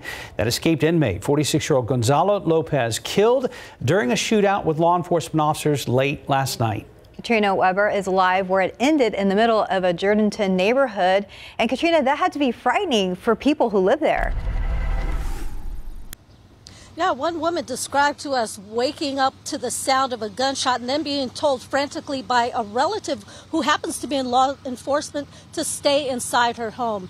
Now, what happened outside here ended with the death of that suspect, that suspect, the uh, convicted murderer Gonzalo Lopez. And up until just a few minutes ago, we had a pretty active crime scene out here. According to the Atascosa County Sheriff, local law enforcement officers had received an alert about the escaped murderer Gonzalo Lopez being in this area. He also had deputies watching the highway for a stolen truck that Lopez was said to be driving. When they spotted that truck last night, he says deputies began to follow him. Jourdanton police, meanwhile, had put down spike strips, which Lopez ran over, flattening all his tires. The sheriff says after that, things took an even more violent turn. The suspect stuck a rifle out of the window of the truck and fired several shots. He turned on this street here, which is Cypress. He went down there and struck a telephone pole. The sheriff says Lopez then got out of the truck and got into a gun battle with the officers, and that is when he was shot and killed. Now, investigators say prior to this, Lopez had killed four people, including three children. That was in the town of Centerville in central, east central Texas, about 250 miles away from here. He says that he broke into that home, killed the people, and then stole that pickup, which he drove to this location. Now, Lopez, who was serving life for capital murder, had escaped from a prison bus back on May 12th in Centerville, not far from the home where he then allegedly killed those four people yesterday. Reporting live in Jourdanton, Katrina Weber, KSAT 12 News. Thank you very much, Katrina. Good morning, everyone. And uh, there's our morning clouds hanging around here. Difference is, though, we don't have quite as much humidity. It's still very warm, 77, still well above normal. That number, though, dew point, measure moisture, is down about, uh, what, three, four, five degrees compared to the past couple of mornings, thanks to wind that has shifted around out of the northeast. We had a weak front that moved on through here, so that brought in some of that drier air, and pretty much everybody in the metropolitan area is enjoying lower humidity as compared to the past uh, couple of days. Molds on the moderate side. The updated count is going to come out in about uh, an hour or so. You know, I can't completely rule out a stray sprinkle this morning. Kind of doubt it, especially down to the southeast. There could be one or two of them. And then later on today, couple of showers, couple of thunderstorms like what we had yesterday. Most everybody's not going to be seeing rain, but at least there will be one or two of them out there. We're also going to have to keep an eye out for uh, a storm complex to develop northwest of the hill country overnight and maybe into early tomorrow morning. And then after that, it's just going to be hot and then staying hot all the way through the rest of next week with uh, big long stretch of triple digit temperatures, maybe uh, breaking, at least tying some of the uh, record high temperatures going into next week. Details on that coming up in just a couple of minutes. Traffic Authority, Steve Cavazos, what's the latest? Hey, good morning, Mike. Well, check out what's going on here at 410 at Cherry Ridge. We showed you this as we went to commercial break. These are reported as stalled vehicles out in that direction. Earlier, we had mentioned this on the map, and you can see there from that TransGuide camera. This does look like it involves two vehicles. Hopefully, the drivers are okay, but uh, it doesn't look like it's causing any issues for the drivers that are heading in that direction. Just remember, when you see a situation like this, you got to slow down a little bit. Make sure to also move over. Give them plenty of time and plenty of room. Uh, thankfully, as we get a look at the map, no other issues to talk about just yet. But of course, we see a lot of those little construction zones. So you got to make sure that you plan your commute, especially as we drive off into the weekend. Now, if your destination is going to be the Alamo City, well, we have those travel times for you right now. Everything is looking pretty good. But uh, again, those usual slowdowns, gosh, off 281, 28 minutes. It's not looking bad, but you got to remember that we're going to see that for some time, especially as we're getting closer to that morning rush hour because of the construction that's taking place up there. So just remember to pack your patience if you're heading on 281 southbound. But other than that, things are green across the board, but we'll continue to watch the roads closely, especially in areas like this, 410 at Cherry Ridge. We'll have more updates on your Friday morning commute coming up a little bit later on. Mark Stephanie. Thank you, Stephen. New this morning, police say two people are expected to be okay after they crashed their vehicles into each other on the northwest side. This happened at Loop 410 and Vance Jackson just before 1230. Police say the two vehicles collided on Loop 410. One of the vehicles spun off onto the access road while the other rolled into the main lanes. The driver in the vehicle that rolled into the main lanes was taken to the hospital with minor injuries. The other driver, police say, appeared unharmed. Today marks 100 days since Russia's invasion of Ukraine began. So far, Ukraine is holding on and has the support of the United States and NATO. CNN's John Lawrence reports. Ukrainian President Volodymyr Zelensky, in an address Thursday, thanked the U.S. for sending high mobility artillery rocket systems to his country, saying they will, quote, help save the lives of our people and protect our land. President Biden's goal, the whole U.S. government's goal, Congress's goal is to support Ukraine and help Ukraine uh, ultimately prevail. In addition to weaponry, the Biden administration also announced another round of sanctions against government officials and others close to Russian President Vladimir Putin. The cumulative toll of uh, every measure we have put in place uh, has been extraordinarily uh, biting on the Russian economy. The White House released a statement saying these sanctions are designed to, quote, enhance enforcement and increase pressure on Putin and his enablers.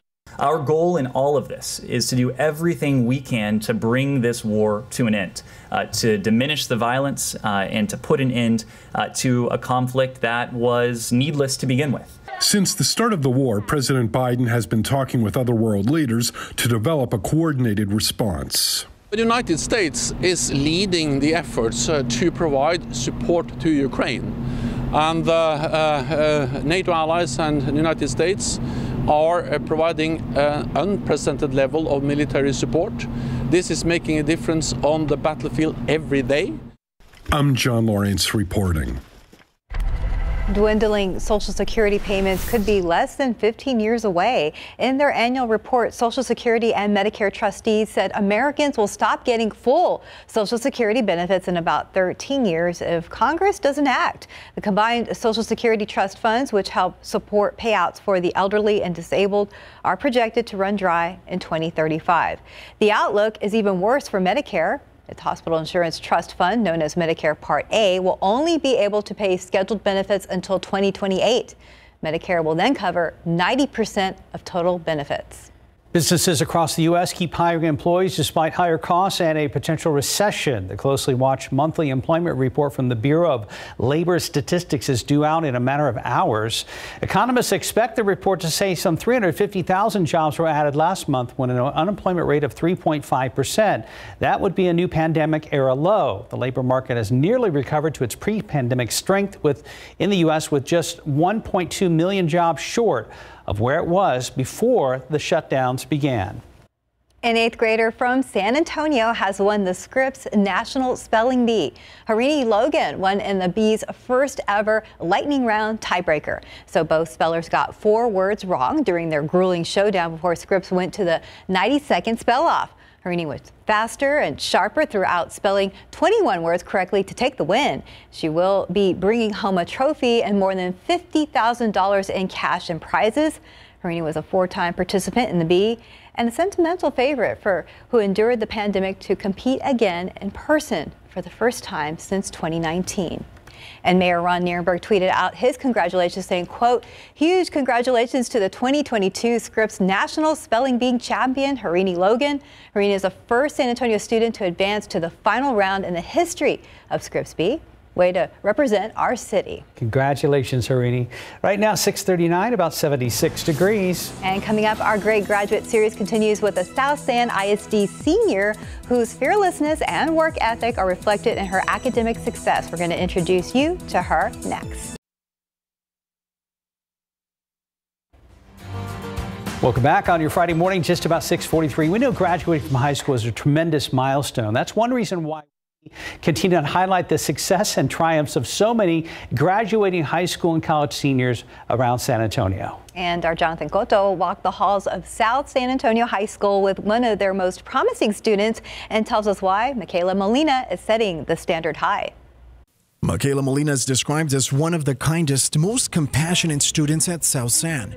Her fearlessness and work ethic is reflected in her academic success and she credits her drive to do better, be better, to a very key figure in her family. My grandpa, before my grandpa had passed, I saw, like, I always wanted to, like, show him everything, all my report cards, all my grades, all my A's. And I just felt like he was very proud of me, and he was the one that really kept me focused. Molina and her little brother forced to navigate the challenges of virtual learning during the pandemic, taking on other roles while her parents maintained a 9 to 5. She says balancing the difficulties of the public health crisis and just being a teenager through it all was not easy whatsoever. I had to step up and help them with virtual learning, and also in the process, my grandma had found out that she had cancer. So during the learning, I had to also take her and drive her to her appointments and while I was in class. And it was just very challenging because I did step up. My mom did work at home, but she couldn't step away because obviously work is very demanding. So I had to take care as my grandma is her healthcare provider and a teacher and parent to my brother. Molina's had her priorities in order despite the circumstances and has successfully overcome what others may see as obstacles or roadblocks. And just when you think there isn't enough hours in a day, Molina has volunteered over 350 hours as a member of the National Honor Society. She will be the first in her family to attend college and has been accepted to Texas A&M Corpus Christi where she plans to major in biomedical. My words for Michaela are this. Always be you. Don't ever, ever, ever try to meet someone else's expectations. Be you. Be proud of who you are. Accept who you are because you've made it this far. Jonathan Cotto, KSAT 12 News. And congrats to Michaela again. I agree. Uh, 645 right now. Let's go ahead and check back with Stephen Cavazos. Things are fine over here. So we're going to try to keep this short. You can see there at 37 at Houston, things are off. People are moving. It is morning rush hour. So just remember to be careful out there. You can see US 90 at 35. We can probably expect some more traffic before the show wraps up. But right now, things are fine. You can see some active construction spots. And as a quick reminder, if you have to drive through Wurzbach Parkway, I saw this the other day, some island work taking place. This is current up until today, but we know there's a ton of work taking place out there at Wurzbach from 9 in the morning to 4 in the afternoon. As a reminder, single westbound lane closure at the Lockhill Selma Road intersection. I saw this the other day. A lot of folks were forgetting to move over to the other lane, and there are plenty of digital signs out there warning drivers. So make sure you plan ahead. We have that information, of course, on our website at ksat.com slash traffic. Just remember to scroll to the bottom of the page. Things are fine over here, guys. Very good. I have a task for you, Mr. Austin. For, for me? Okay. Open up your phone, get Google here, and. Okay. I'm ready. What you got? Lyrics to a song. It looks like I see the moon, the moon sees me down through the leaves of the old oak tree. Sing it, Frank. I assume talking about Frank Sinatra? That's what I would assume. I, it's got to be, right? I mean, who else would it be? I don't think it's Frank Zappa. So Frankie um, Avalon? I mean. So uh, look that up. See what's going uh, on here. Okay. Okay. All right. Thank I'm you very go. much for the uh, KSAT Connect picture. I'm on it. The waxing crescent moon is going to be full in um, just under two weeks, about uh, 11 days or so, on the 14th of June, of course, which is Flag Day. Sun is coming up. Still got some of our uh, clouds hanging around here. We're going to see more sunshine mixed in later on today. I put a, you know, there's a 10% on here, especially down to the southeast, as far as a sprinkler or two is possible. Not very likely this morning. We're going to make it into the uh, low to mid 80s throughout the rest of the morning with some sunshine mixed in with the clouds, 88 at noon, and then getting up into the mid 90s later on. So the normal high temperature, average high, is 91. We're going to be above that again today, although yesterday we did stay at 95 as expected, and we're going to be at 95 today. And then there's that 20% chance for a few stray showers or even a thunderstorm or two. They're going to be kind of scattered about the area which again, this computer model shows that by late afternoon, one or two of those going to be popping up around here. They're going to be going on through dinner time and then into the early evening hours. Still, just a couple of those uh, showers, thunderstorms will be kind of hanging around the area. Most of us are just going to be seeing them off at a distance and won't get any uh, of the, the rain from it. And if you do get one of those thunderstorms, you could have a, a decent shower here or there. Then, this model in particular wants to fire up a one of those nighttime storm complexes well off there in northwest portions of the hill country and then work its way down through here in the overnight early morning hours. So that'll be something if this indeed does develop have to keep an eye out for in the early morning hours tomorrow. And that will be dying down just right around sunrise. Then after that we're going to have just a bunch of sunshine around here. All right tropics very quickly. You know we've been watching the leftovers of agatha which moved across Central America, southern Mexico. It has moved into the open waters now off the tip of the Yucatan Peninsula, and the Hurricane Center is eyeballing that, and it has it moving across. It has it becoming Tropical Storm Alex. It is a potential tropical depression right now, so officially not technically not anything yet, just a low down there, but it's still looking like it's going to be working its way across Florida and it's going to be a big rain producer for the uh, southern half of Florida. So the forecast for us today 88 degrees today at noon, partly cloudy skies. High temperature is going to make it up to 95. One or two of those showers and thunderstorms will be popping up later on this afternoon. Again, few and far between. Keep an eye out whether that nighttime storm complex decides to develop overnight tonight and early tomorrow morning. And then after that, it's just going to be hot. Triple digit temperatures all the way through next week. Um, about 10 degrees above normal on average, close to record highs each and every day. All right, this was a tough one, Mike. Um, I'm, I'm, finding lyrics from from one thing, uh, a group called the Mariners, called "I See the Moon." A couple of them. And then the Stargazers, but uh, no references directly to Mr. Sinatra. Yeah, okay? there's one that came hmm. up with Mr. Sinatra as like "Fly Me to the Moon." But, right, yeah. right, but right, I haven't right. seen if, if those lyrics I, were in there. Yeah, so if, if hmm. whoever sent it to us, if you, if you have more info, let us know because right now we're hmm. we're grasping at straws. Or, or hum a few and, bars. and also uh, Nancy Sinatra, "I See the Moon." There you go. So okay, maybe, maybe that was it. Maybe. 650, about 76 degrees. And tomorrow on GMSA, setting and achieving her goals is what one Lanier High School senior has been doing her entire school career. Now she's poised to start college with her sights set on the stars. We're going to share her story tomorrow. Outside with Live Cam, we'll wrap up GMSA after the break.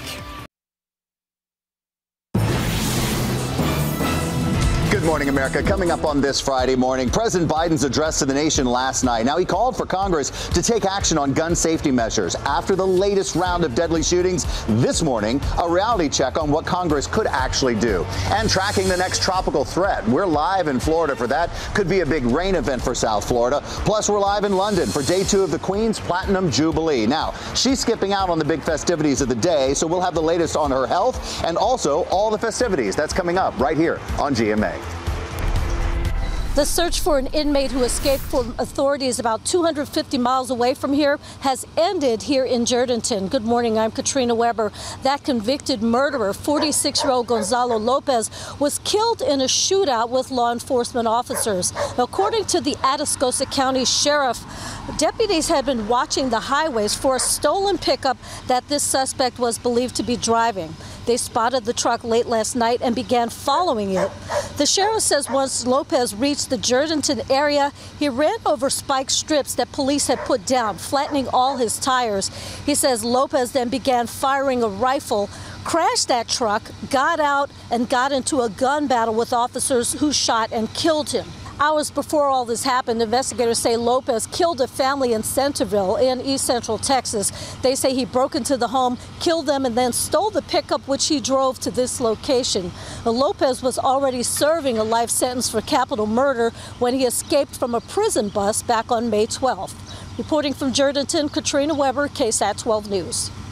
5 till 7. Let's go ahead and check in with Stephen Cavazos. Everybody's looking forward to the weekend, and they're going to have a lot to look forward to if they have to head out the door in the next few moments. But be on the lookout because it is morning rush, and we will see some slowdowns out there. But right now, our map not picking that up just yet. But keep in mind, drivers, 281 southbound, the usual slowdown if you're heading in from Bulverde in those southbound lanes from 281. Other than that, it is green across the board. You can see there, no trouble getting into the San Antonio area. One last look there at TransGuide 604 at Spurs Ranch. The morning is up. People are moving. SPF might be a good idea, right, Mike? Oh, definitely. Any day, it, it's a yeah. very good idea. We've got our morning clouds hanging around here. Temperature 76, so we have dropped down a couple of more degrees, even 69 right now. Comfort. Drier air is in place this morning just compared to the past couple of days. 88 at noon, 95 high temperature, a couple of uh, stray showers or a thunderstorm or two. We'll have to watch out for a complex developing overnight tonight, early tomorrow morning. Then it is just going to be blazing hot. Lots of triple digits. Yeah, we already had a a row of triple digits back. Yeah, we've had you a couple of days in a row here and there, but this is going to be just a nice long stretch we're, right we're, now. we We're supposed to be used to it by now, right? Yeah. Right? We should be. Should be. Okay. have a great weekend, guys. Yeah, have a very good weekend. We'll see you back here at 9.